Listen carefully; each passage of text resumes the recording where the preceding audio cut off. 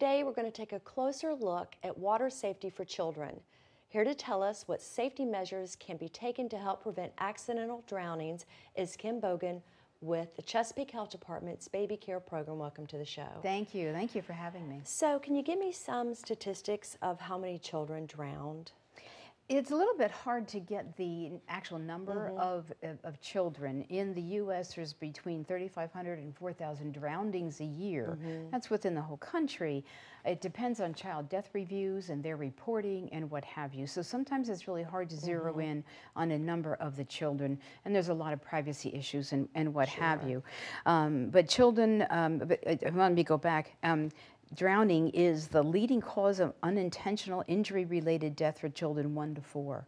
And that's a statistic that really, you know, can send home a lot of information. Mm -hmm. um, and it's 23% of child drownings occur at family gatherings near a pool. When and people so, may actually be on site and this yes. is happening. Yes, yes, exactly. And I'll go through some of the things mm. that parents can do ahead of time to make sure they've, they've mitigated every possibility thing that they can they can mm -hmm. to help mm-hmm. their child and children and all children stay safe, you know. 88% um, of childhood drownings are under some sort of supervision when they drown. And so that's, that's really hard. 46% uh, of that 88 were with a parent. And you think the parent would be spot on. Yeah, exactly. Exactly. Uh, drownings take place in many different areas. People, I think, center on pools, mm -hmm. but lakes, streams, creeks, and so on are, are very dangerous. Um, most of the drownings are in pools, but 37% are in lakes and streams, 39% in pools, 18% are in homes bathtubs, uh, uh, infant toddler pools, the toilet, unfortunately, things like that, and where there's any source of water. How much water does it take to drown? It can take as little as one to two inches, two to three inches, and drowning can actually start within 20 seconds. And so you think of a, of a small infant. That's mm -hmm. a mm-hmm. lot of water for a small infant left, yes. left um, yes. alone in the tub. Um, but a little child that is now sitting without support mm -hmm. and splashing and so on, mom probably only has two or three, maybe four inches in there.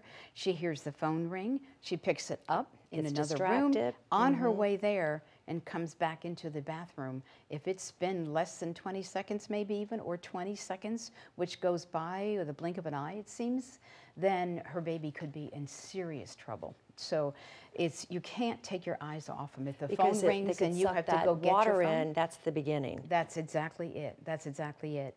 So if your baby is wet and soapy and the phone rings and you're not you can't reach for it, or that's probably not good to do anyway, let mm -hmm. it mm-hmm. ring and go back to Nothing it later. Grab your baby, put them on your chest, and go find the phone or whatever. You know, Definitely. don't ever leave a child for a second. It's just in too big any of a body risk. of water. That's exactly it. That's exactly it.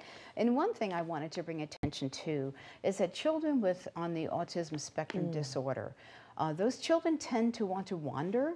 They are um, seek waters for somehow mm -hmm. they're not really sure exactly why and how that happens. So families that with a child, and, and I think any child really, mm -hmm. really need to know their surroundings. You know, um, if they are, I'm looking at notes here because I have so much information. Mm -hmm. um, but if they, um, if they, the family is um, is out of their normal routine, mm -hmm. for mm-hmm. example, summertime, guests in the house, a child, especially with ASD, the spectrum disorder might want to kind of get away from that because mm -hmm. it's overstimulation and just start to walk around. Mm -hmm. um, if the family may have just moved in the neighborhood, they don't know right. that the people across the street are not home and they have an in-ground pool mm -hmm. or mm-hmm. even above ground pool. Mm-hmm. So knowing where your sources of water are, alerting some neighbors like this is my mm-hmm. child, this is what he looks like or whatever. Please be aware that this child may have a special condition. Exactly. That if you do see him wandering right, to right, exactly. Mm -hmm. I think I don't know exactly what the rules are here, but many states, many cities mm -hmm. have rules that uh, you're supposed to have a perimeter gate or, or fence around mm -hmm. your mm-hmm. pool and a self-closing gate, mm-hmm. and and it's really good to have an alarm on the water. So when nobody's in that water, mm-hmm. if something hits it, the alarm's going to go off. Those are really yeah. great. They're a little expensive, I know. It's it's kind of hard. Sure, but it's um, worth for it some families. The, the, price to pay if something happens is exactly. far greater. Exactly, exactly. When I was young in our, family in our church, uh, a neighbor's child drowned in their pool, and they it, it distraught them so they filled it in, and then years later they, they moved away. They just really It couldn't is even devastating, there. I'm sure. And that's the family family that had the pool, and I- I so it really affects a whole community. And what, what are your thoughts? Like I know when my my kids were little, um, and we had a pool, I took them to the YMCA to get swimming Yes. lessons. So, like if they did fall in, they sort of knew how to climb out. Is that something that would be Yes. um, advised? Absolutely. Teach children about water. Mm-hmm. Teach them not to panic. But if they end up in water, it's really the self-rescue Mm-hmm. part of swimming lessons when they're really young mm-hmm. is, is very vital so that, that if they go down, they come up and they get on their back and they bring their face up out of the water and stay calm. And then they're also taught to, to be able to turn and look for the edge, look mm-hmm. for the place where they can get out into more shallow mm-hmm. water and things like that. But first it is to come up, put their face up out of the water, take some breaths, calm down, you know, you're okay, you're okay. Now, what are you going to do? And you can start to turn and learn how to tread water. That's so a practice, good practice for anybody. Exactly. Just to put yourself maybe in a potential situation. So Right, right, exactly. Right, it's and children can yeah. learn, even very young children, and they do remember. Mm-hmm. Um, but you have to do a lot of repetition. You have to constantly remind them, and so on. With children, especially with ASD and so on, that constant repetition, support. You know what to do. Bring your face out. Remember, calm down. It's okay. I think Just panic would probably be one of the biggest Oh, exactly. Exactly. challenges not to be panicked when you find yourself in that situation. Yes, yes, exactly, exactly. Um, so I'd like to go through some of the things that parents can do Mhm, because it kind of includes that, some of that information. And I apologize, but I'm going to look down at my paper No, because abs- it's no, it's a lot. no, Identify and be mindful of the water around you, um, around your home. If your children are going to grandma's for vacation or of relatives' house that they've never been to, those people need to say, okay, what can we do to make sure these children are safe? Mindful of water water around them pools rivers streams and so on keeps toys not being used out of the pool area. Little children will see something oh i want that doll go in there. Before you know it they've slipped in the pool. Uh, water safety rules and so on. You can't go in the pool unless mommy and daddy are with you. You have to hold my hand and so on. Uh, be sure pools have the perimeter fence and the self-locking gates.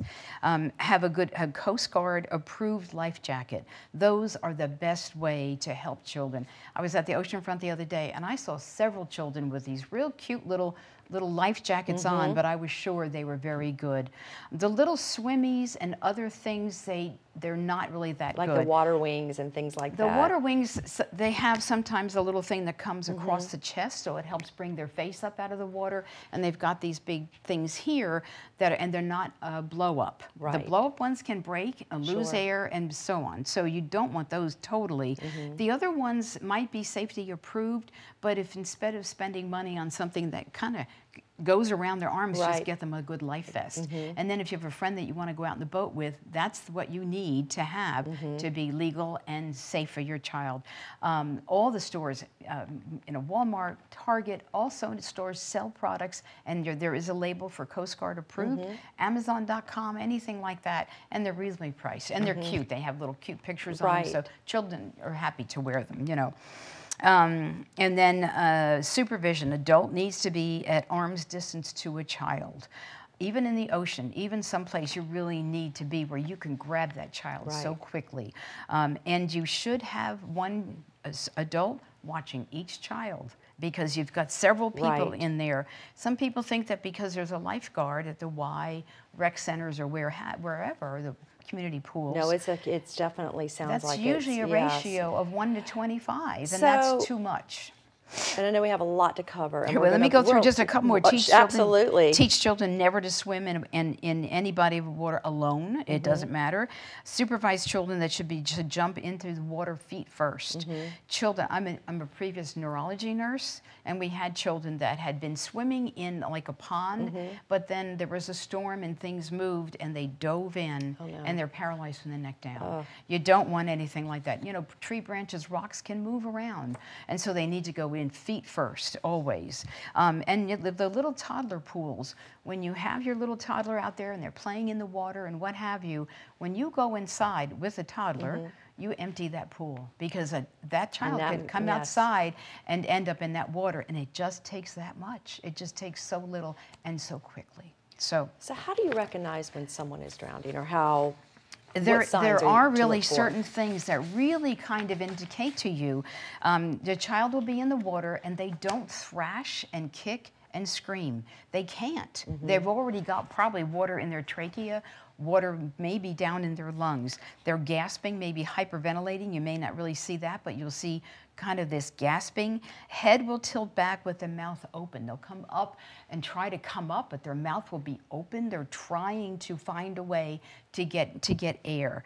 Um, mouth will be at or below the surface, but they may bob up and down a little bit. So they're not playing. That can be serious. Better to grab them and find out they're okay or not. You know, vertical in the water with little leg movement. The children will kind of bring their legs up and down, but you really can't necessarily see that. Their eyes will be closed. Little girls or boys, they may have the hair will cover their face, but they don't try to move it away. Um, and they may bob up and down. And so it is real important because it's silent and it can be an illusion by moving water and children playing. And you've got this child just kind of going up and down, and then they don't come up. Then they're going down to the bottom. Yeah. And that's probably too late. Really, Yeah, really too just late. Thank you so much for coming on to talk about this. I know, like already this summer, we've heard about a Yes, lot of yes, unnecessary, child up, I think, on the northern neck in, the- in the bay. It's just heart So, wrenching. yeah. So we want our children to not be afraid of water, to, but to have a healthy respect for it. Yes, yes. So where can someone go for more information? Because I know you have a lot of information on this. Yes, topic. yeah, I do. Um, safekids.org on a computer Mm-hmm. program, you know. Um, stopdrowning.org, stopdrowningnow.org. Um, the Consumer Product Safety Commission, Mm-hmm. cpsc.gov, uh, YMC dot, dot, ymca.org, Mm-hmm. and water safety. And there's lots of great information there. And then YouTube, and I'm going to show this picture, Drowning is Silent.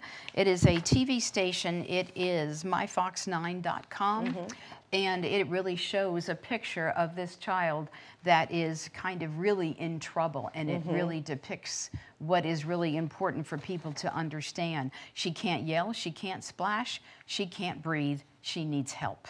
And mm. that's really the message. If you go on youtube there's another one that i really i just found it last night drowning is quick and silent. It's a little girl Right. telling a little story and it's really really hit home because now this little girl becomes an adult and that child drowning uh, really is still so uh, you know prominent in her It mind. is. It is such Yeah. a sad and And there's one other thing I do want to mention as well is that uh, children can, if you grab a child and they cough a lot and you, they were having trouble, they're coughing and so on, but they say they're okay, and probably they very well could be.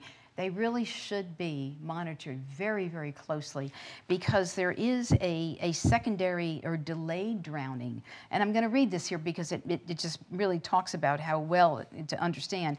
It happens when a child inhales water into her lungs, causing inflammation or edema.